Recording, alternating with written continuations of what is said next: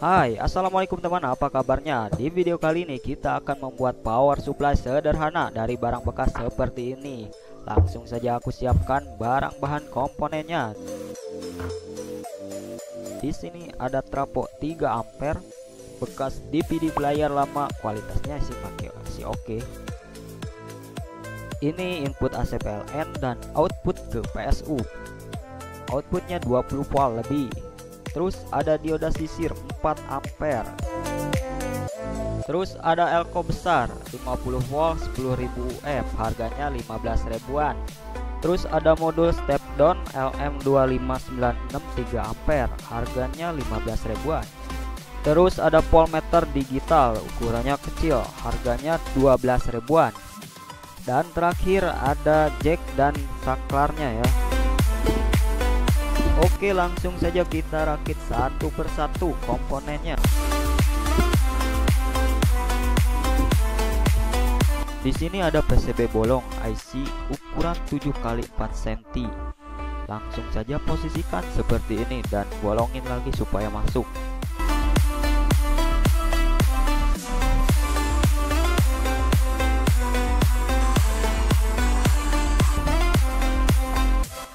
Kemudian kita pasang diode di posisi yang pas. Kemudian pasang cek keramik di posisi AC ke DC seperti ini. Lalu tempelkan ke trafo.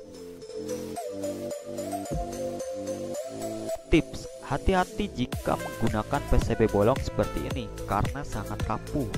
Pastikan solderannya tidak terlalu panas gunakan kabel yang bagus untuk merakitnya.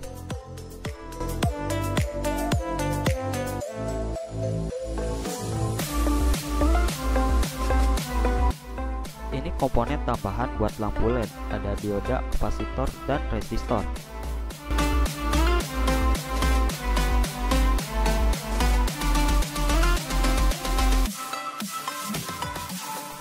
Setelah komponen tersambung semuanya, posisikan modulnya seperti ini.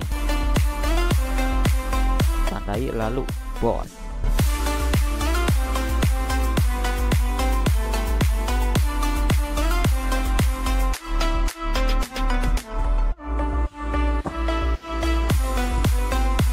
Nah, di sini aku tambahkan pendingin agar kinerjanya lebih maksimal dan lebih awet kemudian copot dulu potensinya baru dipasangkan.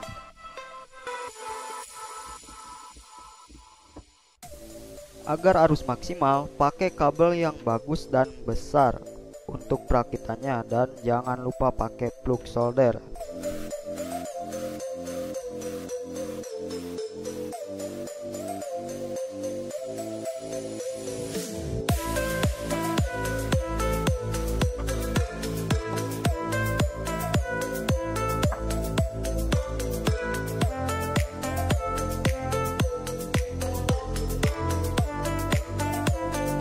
Nah, ada tips nih untuk pemula.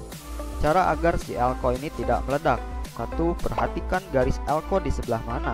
Ini agar pemasangan tidak terbalik ya. Dua, tegangan elko yang ditulis harus lebih besar dari PSU-nya. Misal, trafo kita outputnya 15 volt. Nah, minimal pakai elko 25 volt ya. Tapi jangan di bawah 5 volt, 15 volt ya. Jamin awet. Apalagi kalau masangnya terbalik jadi gini deh. Fatality. Jadi hati-hati.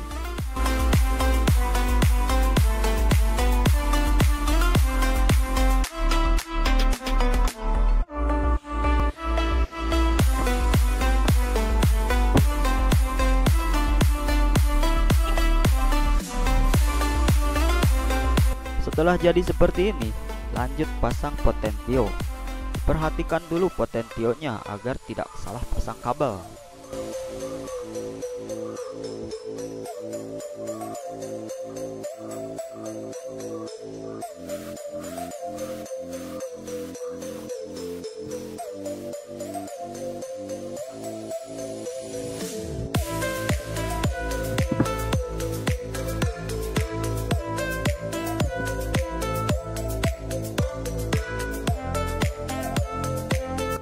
Tips kedua, Nah, gimana caranya kita gabungkan si potensio kecil ini ke potensio yang lebih besar ini? Pakai potensio yang stereo ya, karena yang mono gak ada lubangnya. Kemudian pakai kaleng seperti ini, potong jadi kotak seperti ini. Kemudian lem dan tancapkan di tengah. Bongkar dulu si potensio dan hilangkan pembatas putaran seperti ini.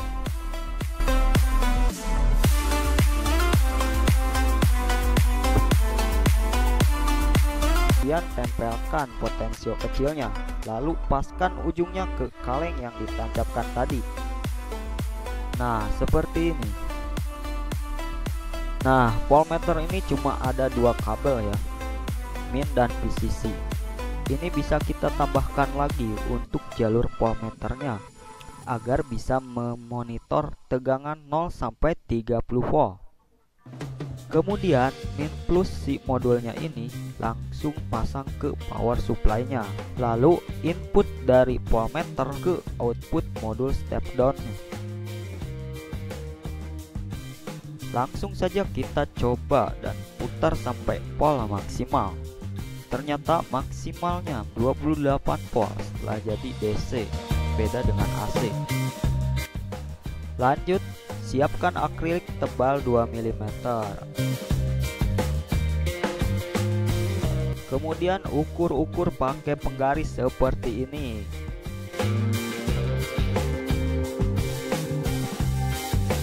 Langsung potong pakai cutter seperti ini. Kemudian panaskan pakai blower dan bengkokkan pakai alat seadanya.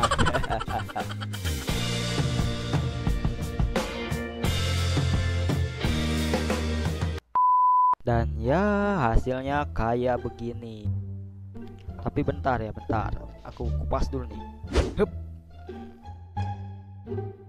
dan hasilnya seperti ini. Ya lumayan lumayan lumayan capek ya sudahlah tidak apa-apa. Kita lanjutkan. Walaupun hasil cangkangnya tidak memuaskan. Yang terpenting itu adalah fungsinya ya teman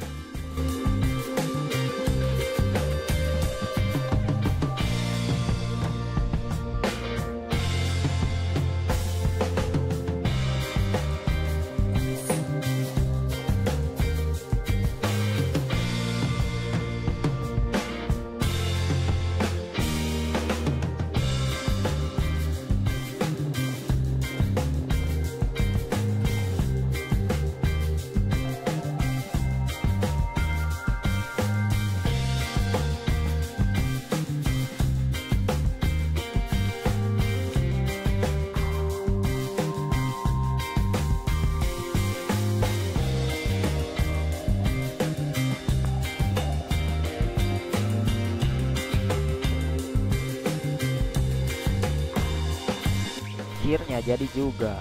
Hehe. Nah itu tadi video cara membuat power supply sederhana dari barang bekas elektronik Dan tips-tips cara membuatnya agar modalnya jadi murah.